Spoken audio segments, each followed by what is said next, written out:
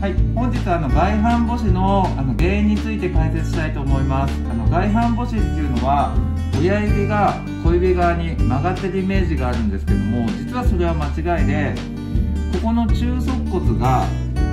開いてしまって親指が外側に行くように見えてしまう症状です。これが中足骨で親指だとするとここが中足骨が開いて開腸足になると親指が外側に行くように見えてしまうのでサポーターとかはここの中足骨が足が開いているのを防ぐようにこうやって両方から圧迫するようなサポーターをしてあげると足が親指がまっすぐにいってるように見えますので是非皆さんあの外反母趾っていうのは外側に親指がいってるんではなくてここの中足骨が開いてしまった状態なんだっていうのを覚えてください。今回の動画は以上になります。